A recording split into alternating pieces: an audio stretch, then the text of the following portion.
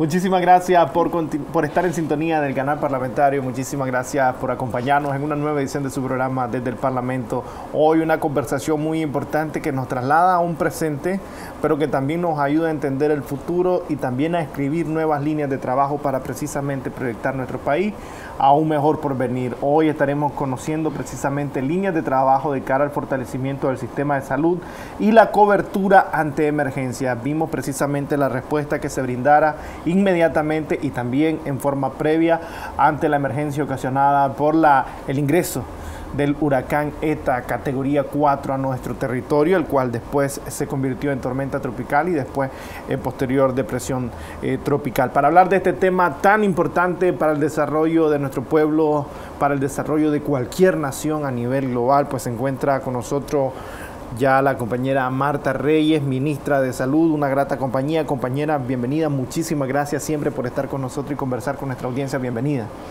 Muchas gracias ¿no? por la oportunidad por, para poder compartir con nuestra población esta información tan importante que evidencia ¿no? la fortaleza de cómo nuestro gobierno se prepara ante situaciones de desastre y cómo las experiencias vividas y todas esas prácticas que realizamos anualmente en diferentes momentos eh, fortalece ¿no? la, la, respuesta cuando estas situaciones se dan. Así es que es eh, muy importante para nosotros estar la mañana de hoy acá.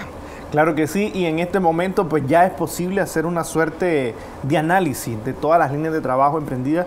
Obviamente nos acapara el tema del huracán ETA en nuestro territorio porque es el fenómeno más reciente. Sin embargo, vimos un trabajo articulado y allí el Ministerio de Salud, una columna bastante importante movilizada.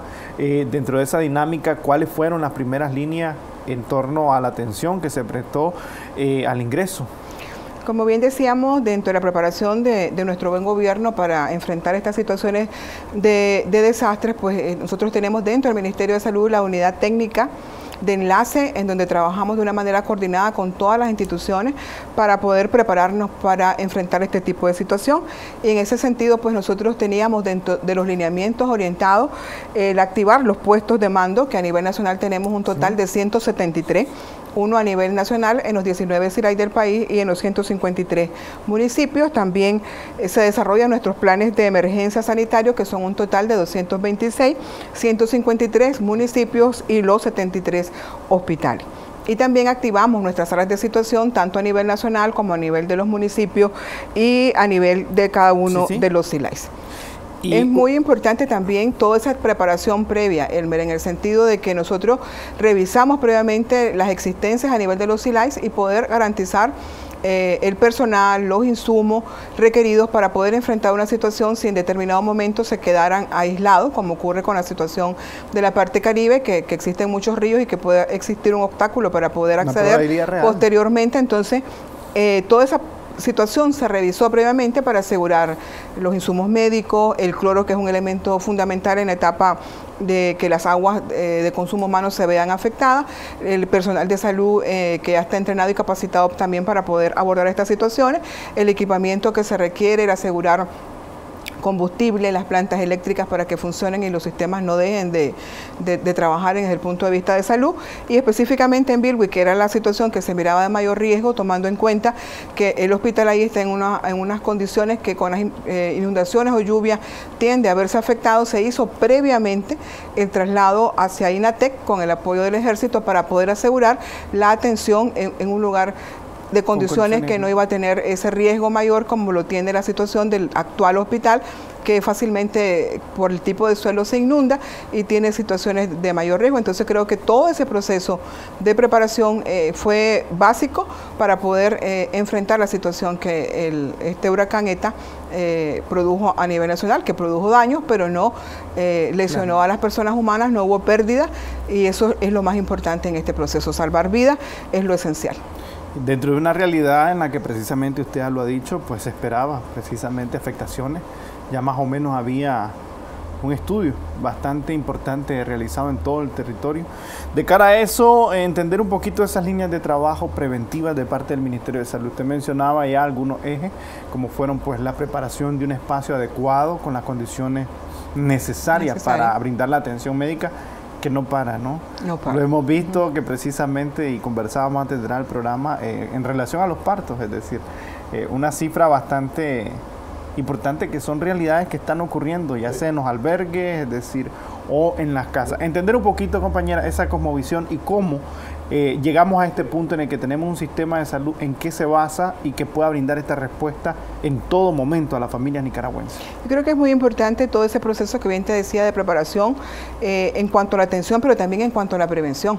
Eh, realmente se establecen los albergues que pueden ser potenciales a, la movilización de las personas que así lo requieren en base a las condiciones de riesgo, que fue otro elemento importante, ¿no? El movilizar a las personas de los lugares de riesgo eh, con tiempo para asegurar eh, el salvar las vidas y las condiciones. Y en ese sentido el Ministerio de Salud tiene la responsabilidad en esos albergues previamente de fumigarlos, de, de ratizarlos y de que inmediatamente que las personas llegan allá, eh, dar las medidas preventivas para el manejo adecuado del agua, de los alimentos, de cómo prevenir, en este caso, la transmisión de los cuadros respiratorios, porque también estamos enfrentando una situación de riesgo con el ETA, pero también tenemos que seguir manteniendo las medidas preventivas para evitar ¿no? la transmisión del COVID-19. Entonces, en ese sentido, pues, eh, a la par de todo ese proceso organizativo, también tienes que ver la parte de la prevención, que es un elemento eh, muy importante. Ya desarrollado el proceso de, atención, nosotros realmente aseguramos, eh, como bien lo decías vos, eh, ya la atención directa. Durante todo este periodo nosotros hemos eh, cumplido con un total de 26.333 consultas médicas hasta el día de ayer. Este es el acumulado. Eh, estas son atenciones que se brindan directamente a través de las brigadas, como estamos viendo ahí, por, en las unidades de salud directamente y también en los albergues.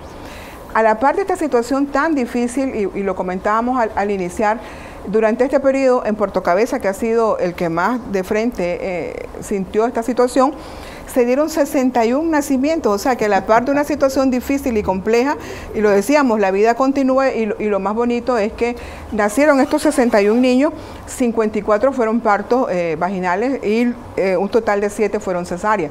Gracias a Dios y a la atención que se brindó, eh, todas estas mamás y estos niños se encuentran en buenas condiciones. Gracias a Dios. Así es. importante también la cantidad de visitas que se ha realizado en Bilwi y en otros Silay que han tenido afectaciones como Riva, Nueva Segovia, un, pedacito de Managua que decimos nosotros, también eh, en Jinotega. Y eso significa que hemos garantizado 116.450 visitas casa a casa con el objetivo de prevenir las enfermedades y promover el manejo adecuado del agua, de los alimentos, eh, eliminar los criaderos de mosquitos que puedan estar alrededor de estas situaciones, eh, en los albergues también y en las viviendas para enfrentar la situación en el momento, pero también para prevenir enfermedades que pueden quedar a consecuencia de las inundaciones, porque uno de los elementos más importantes de las inundaciones es eh, la situación de la lectospirosis, porque si tiene agua y esa agua arrastra tierra o elementos que están contaminados con las orinas de, los roedores o animales domésticos, eh, esa situación de riesgo es muy importante. Y por eso es que nosotros inmediatamente iniciamos la medicación eh, profiláctica contra la la lectospirosis. Hasta el momento nosotros hemos iniciado esta atención de, medicación en 121.635 personas.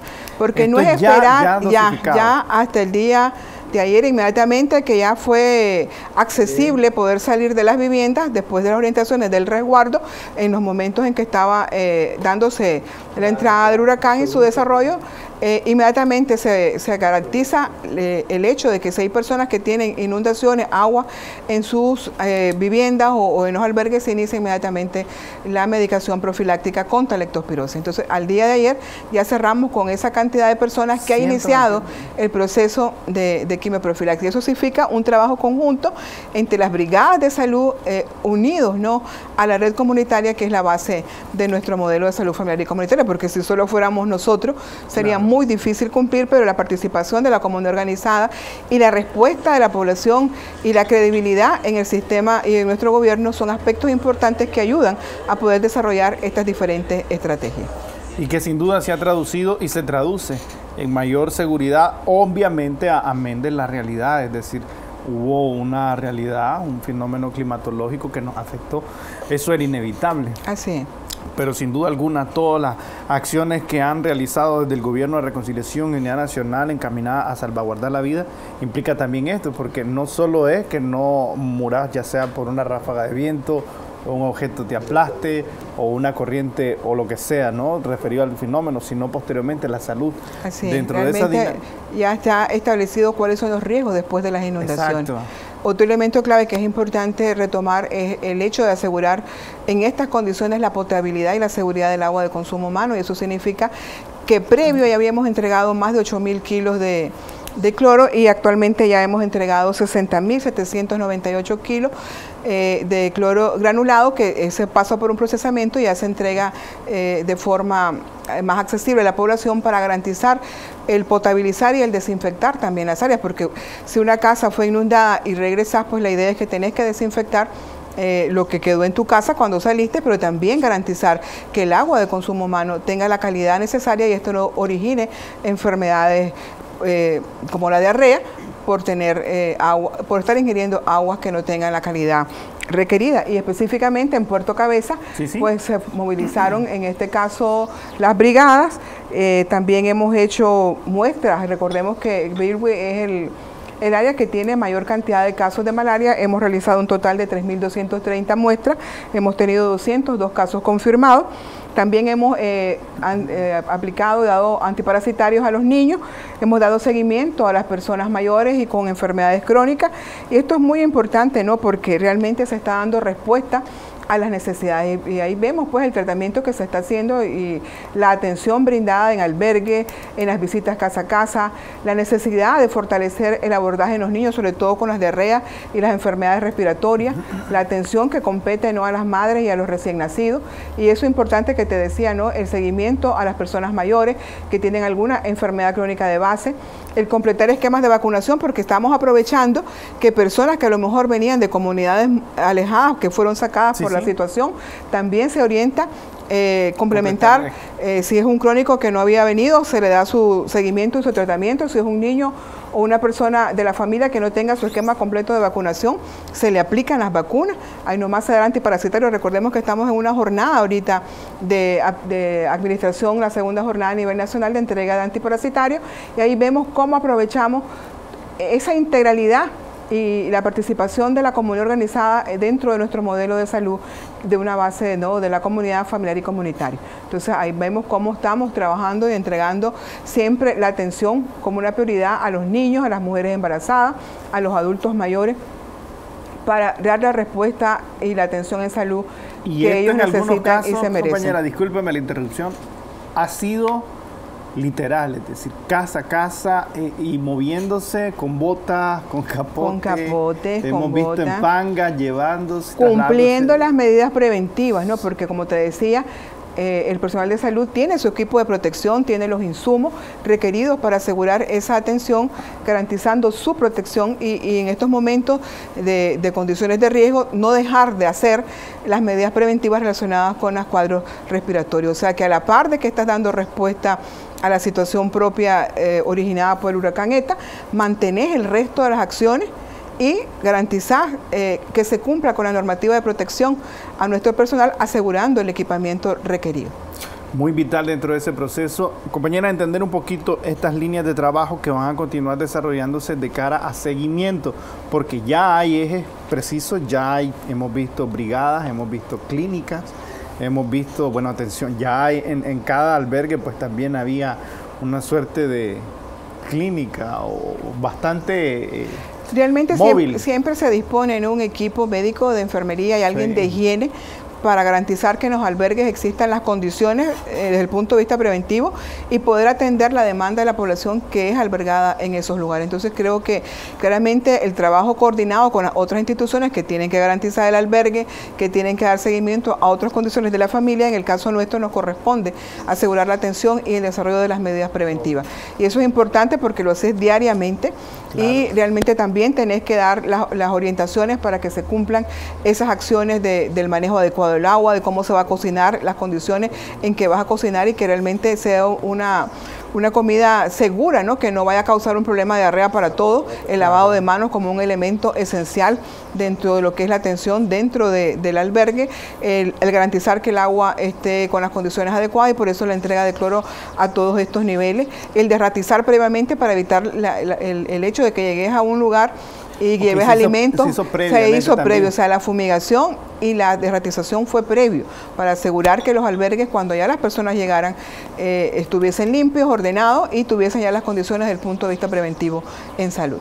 Muy importante dentro de una atención integral también de dignificación también de la familia, es decir, porque obviamente a menos de que fuese una emergencia no implicaba que iban a relajarse las medidas de salud. Tenemos que hacer una, claro que sí, tenemos que hacer una pausa, compañera, pero al volver quisiera que continuáramos hablando, porque obviamente nos ocupa el tema en este sentido por la realidad propia del huracán ETA. Sin embargo, hay líneas de trabajo ya establecidas siempre de parte del Ministerio de Salud de cara a esta emergencia u otras que pudiesen presentarse. Obviamente por la particularidad de algunos fenómenos naturales no son predecibles, sin embargo lo que sí es predecible o lo que sí se puede hacer es brindar algún tipo de respuesta en torno a esa realidad que también es dinámica y cambiante. Tenemos que hacer una breve pausa y ya volvemos.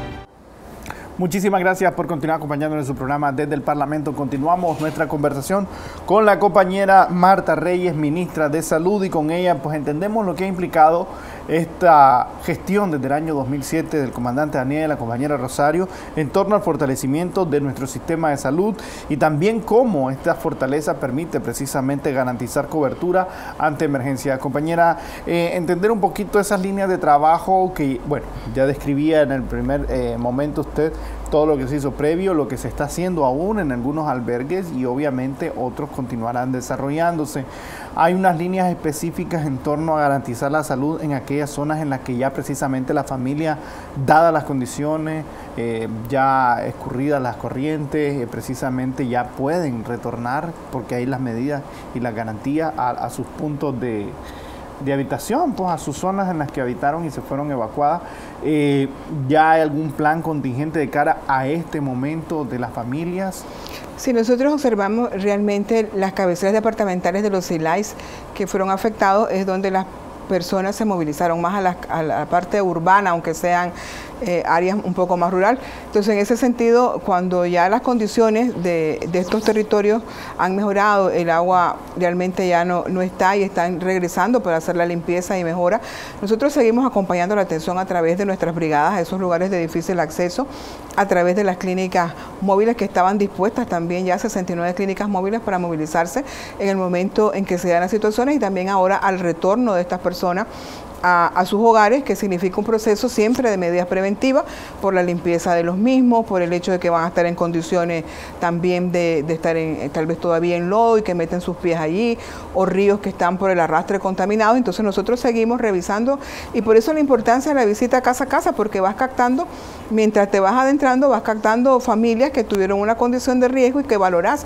si necesita iniciar, por ejemplo, la, la quimioprofilaxis contra la leptospirosis o orientar las medidas preventivas en relación al manejo adecuado de alimentos, del agua de consumo humano, de cómo evitar la presencia de criaderos alrededor de sus casas para evitar la situación del dengue, que ya en este momento habíamos revisado en vez pasada, está comenzando por el mismo periodo de las lluvias a incrementar y que estas condiciones vienen a favorecer la presencia de criaderos. Entonces, continuar en esa línea y fortaleciendo más, porque ahora si ya habías aplicado BTI en alguno de esos lugares y con el, agua y la lluvia eh, se barrieron los, barriles, el agua de las pilas, entonces tenés que fortalecer todas las actividades de lucha antiepidémica y el trabajo que tenés que hacer coordinado con la alcaldía en las jornadas de limpieza y eliminación de criaderos, que es parte de nuestro trabajo, pero más intensificado en estos lugares que ahora tienen esas condiciones.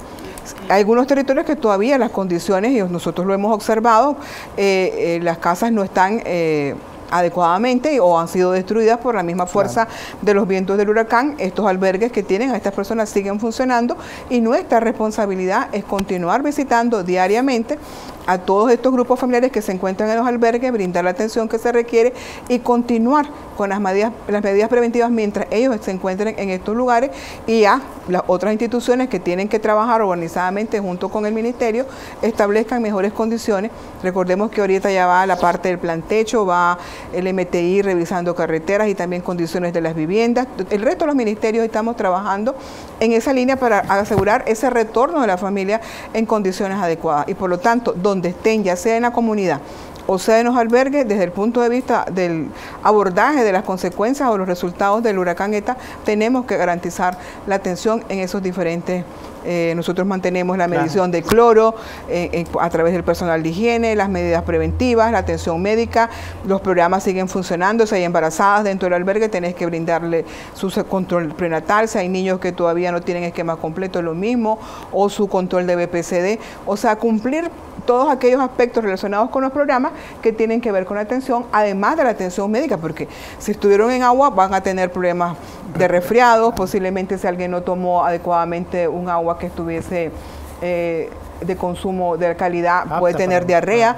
Entonces, por eso es importante que a la par de la atención médica directa que puedes dar en esos lugares, ya sea en la comunidad que está retornando o en los albergues que están quedando todavía, también asegurar todo el componente de las medidas preventivas y la quimioprofilaxis necesaria. La verdad es que es muy importante para nosotros todo ese esfuerzo que está realizando nuestro personal de salud. Y lo otro importante que te decía, o sea, a la par, y, creo que es importante recalcar que nuestro modelo dar respuesta a las situaciones de riesgo, como fue el caso del COVID en su momento, que ahora estamos en una situación epidemiológica más estable, y en relación a ETA, pero también sigue desarrollando los programas y la atención en el resto de las unidades y aún misma en estas condiciones de riesgo, los programas y la, y la atención de otras enfermedades se mantiene. A través de las diferentes estrategias, como vemos aquí en la clínica móvil, ha tenido una respuesta importante a través de la movilización de especialistas también dentro de lo que es eh, mi hospital en tu comunidad y eso es muy importante que lo recalquemos. Una de las, creo yo, eh, prioridades y, un elemento clave de nuestro modelo es que te permita a través de la participación conjuntamente con la comunidad y la integración con las otras instituciones dar una respuesta integral y no dejar la emergencia y dejar de hacer lo demás, sino que mantener las acciones de atención en, en todos los aspectos a la par de que desarrollas esas atenciones especializadas ante situaciones de riesgo o de desastre. Y en ese sentido, usted nos ha conducido, creo ya, a mi siguiente pregunta. No, dentro de esa dinámica también a nivel nacional no han parado las líneas de trabajo. ¿Cómo explicamos o cómo nos puede explicar eh, esa capacidad tanto para brindar respuesta en esta zona, eh, que pues obviamente por sus realidades fue bastante focalizada, por lo menos el impacto fuerte, aunque entendemos que las lluvias pues han ocasionado inundaciones en algunos puntos dispersos del país, sin embargo, y pese a esa realidad de que están realizando atención en puntos dispersos del país, algunos bastante remotos, eh, también en los hospitales no han parado la cirugía, no han parado los partos, no han parado precisamente la, la, visita, la, la, atención de medicina general, es decir, terapia complementaria alternativa continúa desarrollándose. ¿Cómo, ¿Cómo que, nos explica esa realidad continua? Que, en, esa parte de, la organización establece, ¿no? Que tengas tus planes de respuesta a la emergencia, pero que también asegures que las otras atenciones se tienen que seguir brindando, porque una persona que tiene un cuadro de cirugía de emergencia no la va a parar una lluvia o una situación, o sea que el hospital tiene que estar en disposición a atender las otras situaciones, un accidentado, alguien que requiera una atención de emergencia, eh, nosotros estamos respondiendo. Entonces, siempre se forman brigadas, siempre la comunidad participa con nosotros en ese proceso y esto es importante señalarlo, ¿no?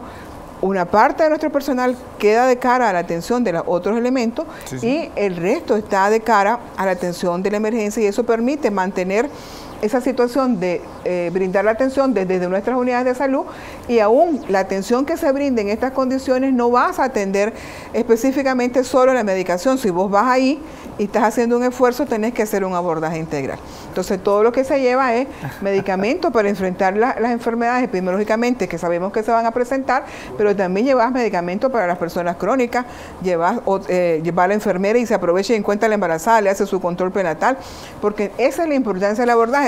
Al enfrentar la situación, das respuesta inmediata a lo que está aconteciendo, pero si encontrás otras situaciones que tienen que ver con los programas... No te puedo atender por eso. No te puedo atender porque no vengo para eso. Eh, eso es lo importante y la riqueza de nuestro modelo, que asegura en cualquier momento la integralidad de la respuesta en salud y con el acompañamiento eh, clave ¿no? de la comunidad organizada que nos ayuda en, estas etapas, pues es, es, importante. La verdad es que nosotros, aún en los tiempos más complejos del COVID-19, no se dejó de hacer y prácticamente el impacto positivo fue la salida a, a las casas.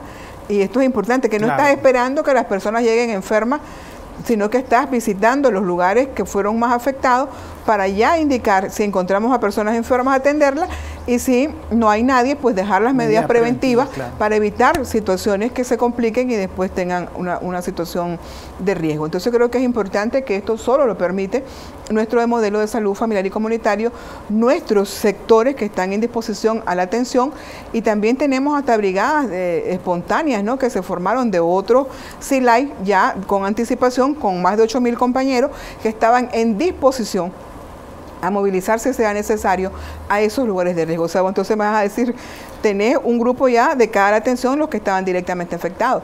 Tenés eh, una infraestructura con personal de salud hacia de cara hacia la otra atención que es una demanda espontánea que no puedes rechazar, pero también tenía voluntarios ya listos para movilizarse si hubiese sido necesario. Entonces creo que esa capacidad de organización, esa capacidad de trabajo, esa vocación de servicio, eh, realmente es un elemento muy importante que lo facilita el modelo y, la prioridad que nuestro gobierno da a nuestra población y al hecho de garantizarle no solo en salud, sino en todos los elementos, eh, un abordaje totalmente integral.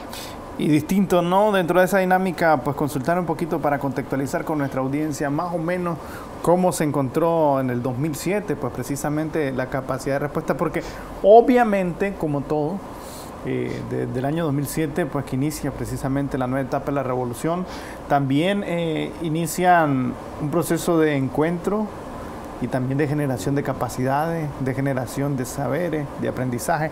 Eh, en el 2007 más o menos, ¿cuál ha sido la curva de aprendizaje hasta la fecha? Yo creo que es muy importante eh, en esa respuesta todo lo que hemos logrado ahora pero es clave ¿no? que al 2006, lo que se había trabajado hasta ese momento y el, inicio ¿no? del 2007, con esta nueva etapa de nuestro gobierno específicamente, podemos ver que realmente la cantidad de recursos humanos para brindar la atención a la población como se merecía estaba realmente disminuida.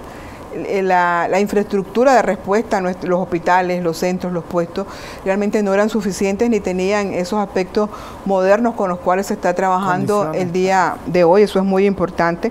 Eh, el aspecto de equipamiento médico y no médico para poder garantizar la atención, ahí nos referimos a medicamentos, material de reposición periódica, eh, realmente no era suficiente para atender la consulta y la demanda de la población. Normal y menos en tiempo de Entonces consideramos realmente que todos esos logros que se alcanzaron eh, anterior al periodo en que se reinicia eh, el trabajo de nuestro gobierno realmente fueron como retrocediendo, ¿no? porque hubo una etapa eh, importante donde se se desarrollaron unas campañas de vacunación, estrategias comunitarias, el hecho de garantizar también en esa etapa eh, la salud a los lugares más lejanos.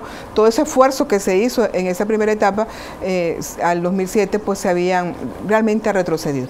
Y creo que esa es la base y la importancia de poder desarrollar este nuevo modelo de salud y todos los aspectos que tienen que ver con ir mejorando y restituyendo el derecho a la salud de nuestra población. Importante esa aclaración porque no podríamos entender, creo yo, esta respuesta integral en principio a la emergencia ocasionada por el huracán ETA, por el ingreso a nuestro territorio y la continuidad, es decir, en las zonas en las que precisamente, o en las zonas, porque hay algunos municipios o departamentos que tuvieron un municipio afectado y que implicó movilización importante de recursos, también de, personal, pero no implicó que la unidad hospitalaria quedara desatendida, es decir, lo vimos y, y la respuesta prácticamente es parte de un acumulado eh, de experiencia y de mucho trabajo también. Eh, conocer un poquito desde el 2007 hasta la fecha en ese sentido, más o menos si pudiera regalarnos algunas líneas de trabajo que se vinieron garantizando para pues ver lo que vemos en, la realidad práctica ahora. Yo creo que es muy importante, ¿no? Una de las primeras prioridades y, mandatos del presidente, comandante Daniel Ortega, dentro de lo que fue el gobierno eh, de, Reconciliación y Unidad Nacional, fue el, hecho de decir, vamos a restituir el derecho a la salud de los y las nicaragüenses. Y hacerlo de una manera integral y un elemento clave, gratuito.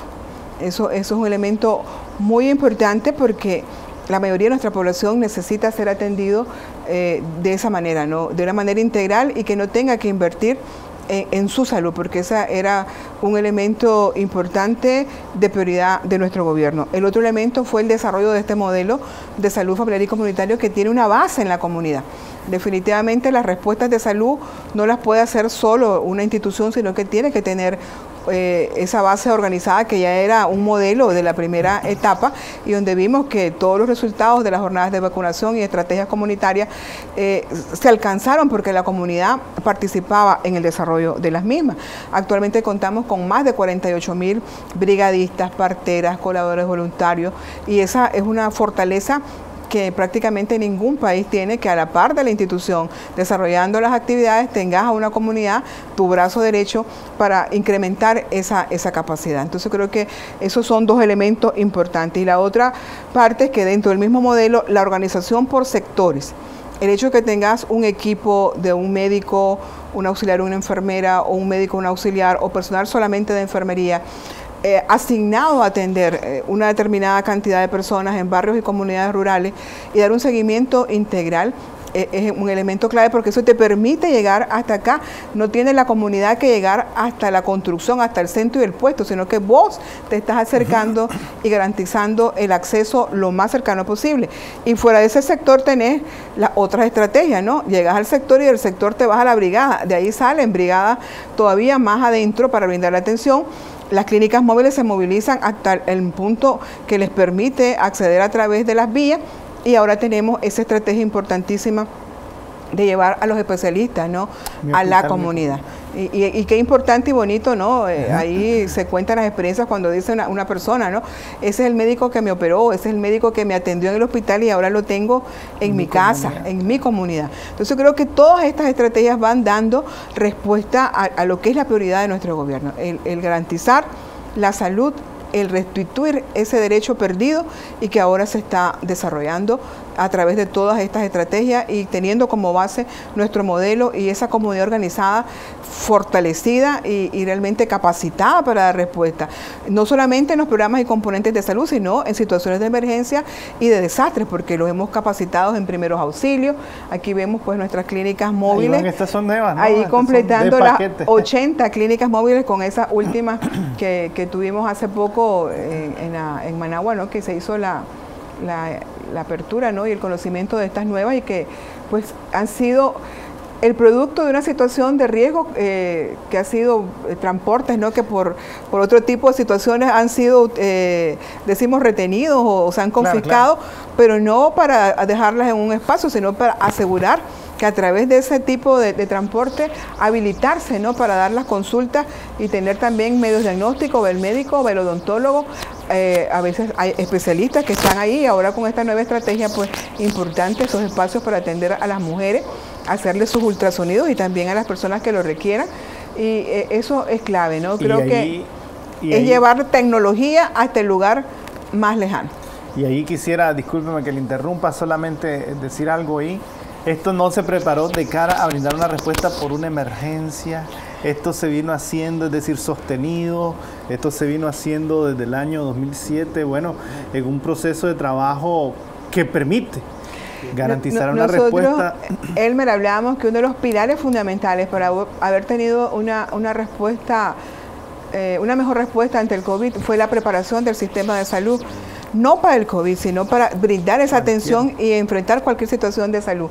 Ir mejorando esa capacidad de respuesta desde que inició en el 2007 hasta en este momento y eso permite, ¿no? O permitió dar una mejor condición de respuesta al COVID y ahora lo estás viendo a esta situación de, emergencia, ¿no? en que tenés condiciones para poder movilizarte con equipos de esta magnitud hasta la comunidad de más difícil acceso. Entonces creo que todo este esfuerzo y fortalecimiento del sistema de salud como una prioridad de nuestro gobierno ha sido clave para poder dar respuesta a las necesidades de salud de nuestra población.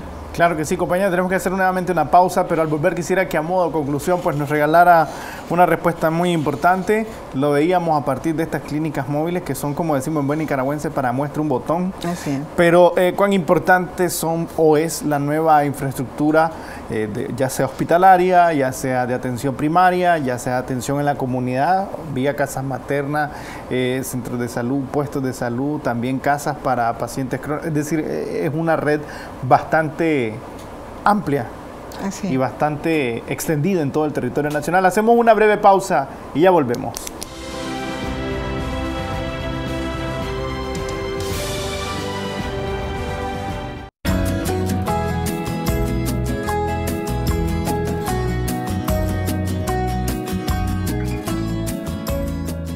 Cuidemos nuestro medio ambiente, sembremos árboles. Los árboles, además de producir oxígeno y embellecer nuestro entorno, son hábitats de plantas y animales. Promovamos la siembra y cuido de árboles para un aire más limpio. Cuidemos nuestra flora y fauna. Este es un mensaje de la Asamblea Nacional.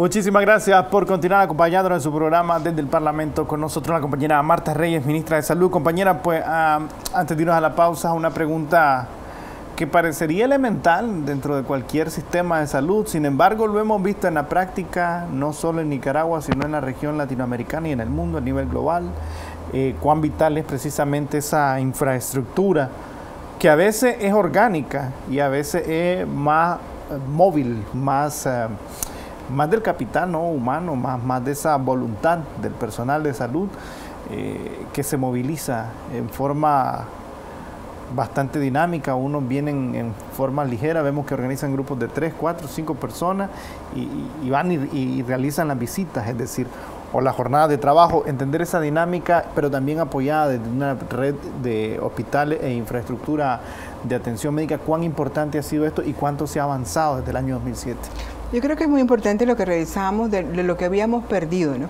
y del esfuerzo que se ha hecho desde el 2007 hasta la fecha en ir fortaleciendo la capacidad de respuesta a través de más recursos humanos, médicos, de enfermería y también técnicos de apoyo, pero también desde el punto de vista de infraestructura, eh, nosotros hasta el momento hemos construido 19 hospitales como una prioridad de nuestro gobierno.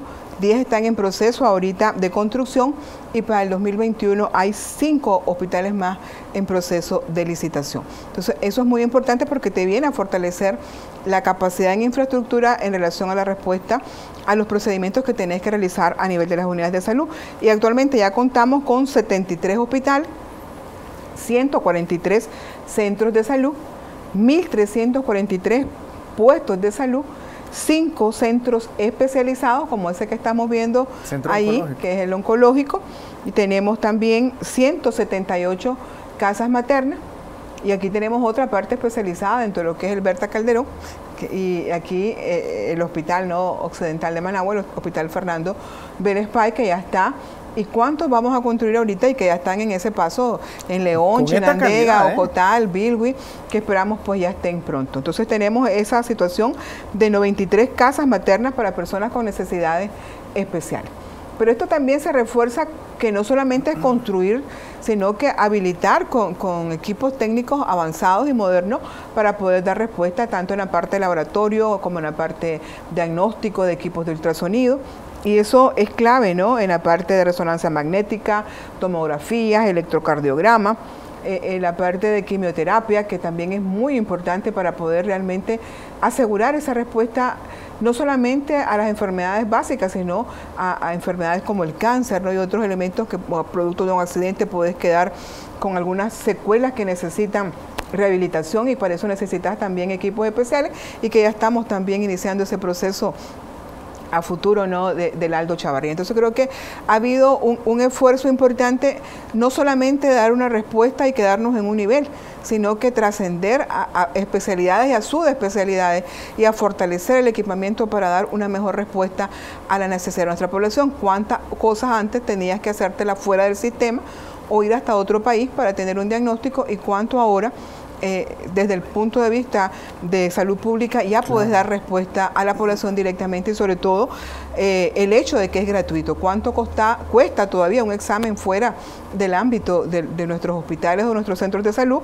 Y ahora son un, hecho, es una realidad que nuestra población si necesita un examen especial, un tratamiento especial, un abordaje que necesita una condición, realmente lo, puede obtener a través del sistema. Entonces creo que eso da respuesta al hecho de continuar restituyendo el derecho a la salud de nuestra población, que es la premisa de nuestro buen gobierno cuando él asumió en esta segunda etapa y creo que la población lo valora.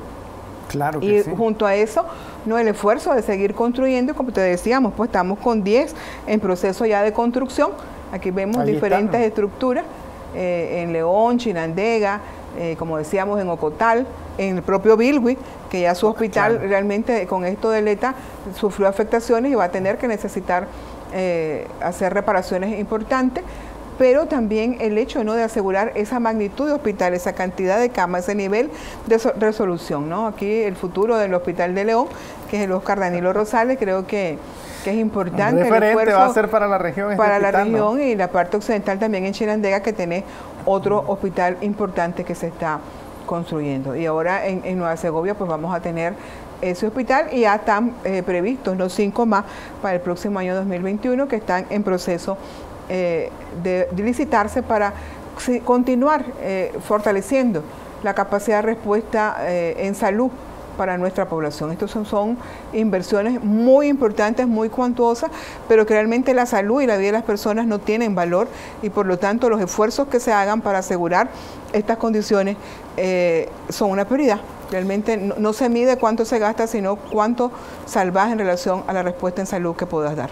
Y que permite no partir a la improvisación en torno a las respuestas que se brindan, porque Definitivamente. aquí hay menos improvisación, hay un aparato eh, bastante práctico, lo hemos visto en torno a algunas pandemias. Obviamente la respuesta que se brindó ante digamos, la más reciente, pues podríamos entenderlo así, que afectó al mundo, que afecta, que está precisamente vigente, una realidad latente, eh, COVID-19, y también vimos la administración oportuna que se realizó, no fue improvisada, no fue, bueno, obviamente como todo un aprendizaje, una nueva pandemia, sin embargo, ya había un camino andado que permitió administrar de mejor manera esta... Y dar una mejor respuesta. Claro que sí. Manteniendo siempre las medidas preventivas que no, y el protocolo que estaba ya elaborado para poder abordar esta situación. Pero importante también acá, Elmer, es el hecho de que todas estas acciones han impactado en los indicadores que se habían eh, desmejorado ¿no? Eh, hasta el 2007 realmente disminuye la mortalidad materna, disminuye la mortalidad infantil, mejoran los indicadores de nutrición de nuestra población durante todo este periodo. O sea que no solamente es actuar para garantizar la atención y disminuir enfermedades, sino que es actuar para mejorar condiciones como es el hecho de que menos mamás fallezcan, menos niños también, y que las condiciones de nutrición también se vean mejoradas por todo este esfuerzo de los programas de, la niñez, los programas especializados dirigidos a grupos con discapacidad, adultos mayores, las casas maternas que dan una respuesta tan importante y que ahí vemos el impacto en la mortalidad materna. Nosotros pasamos de una mortalidad materna prácticamente de 92.8 en 2006 a 31.2 y la infantil de 29 en 2006 a 12.8 y mejoramos el nivel nutrición de 21.7 que había en el 2006 a 10 en el 2020, o sea, casi la mitad. Eh, hemos mejorado tanto en la parte de nutrición como los que somos gorditos, eh, también eh, que comemos comida que no es la más adecuada e impulsando ¿no? la alimentación sana y las estrategias a nivel escolar de aprender a comer mejor eh, y, no comer tanta comida chatarra como decimos nosotros, ¿no? los meneitos, las gaseosas que nos gustan pero que realmente al final tienen consecuencias difíciles porque un gordito tiene más consecuencias para su presión, eh, antes, eh, más de diabetes, más de afectaciones circulatorias, por lo tanto entonces todos estos elementos unidos no solamente, es decir, asegura una atención, tantos miles de atenciones, sino cómo eso impacta en indicadores tan claves como es la mortalidad materna, la infantil, indicadores de nutrición, la mejora en las condiciones de las enfermedades eh, epidémicas este año hemos tenido una situación bastante favorable comparado con el año anterior y todas estas estrategias, todos estos desarrollos de actividades y programas vienen a ayudar realmente a mejorar las condiciones de vida de nuestra población, a dar respuesta a su necesidad de salud y por lo tanto a garantizar desde el punto de vista económico a personas económicamente activas, sanas y que tenemos que continuar fortaleciendo por el futuro de nuestro país. Claro que sí, compañera Marta, de mi parte no tengo más preguntas y el tiempo pues precisamente no nos da para más. Sin embargo, pues si usted quisiera compartir algún mensaje con nuestra audiencia, tiene ahí sí pues el, espacio y un minuto para hacerlo. Bueno, agradecernos la oportunidad de compartir esta información con nuestra población. Eh, realmente continuamos trabajando eh, a la par de nuestra población en los diferentes sectores de riesgo y manteniendo siempre las medidas preventivas contra las enfermedades respiratorias, específicamente el COVID-19. El Ministerio está ahí en las, en las unidades de salud, en las comunidades, trabajando a la par ¿no? de nuestra red comunitaria, que es la base de nuestro modelo. Muchísimas gracias. Y garantizando sin duda alguna la vida de nuestro pueblo. Muchísimas gracias, compañera Marta, por su tiempo. Y usted que esté en su hogar también, muchísimas gracias por habernos acompañado. A nombre de todo el equipo que hace posible la transmisión de su programa desde el Parlamento, le invitamos a que se quede en fiel sintonía del canal parlamentario. El canal de la Asamblea Nacional estuvo con ustedes, Elmer Mars, y les esperamos en una nueva edición.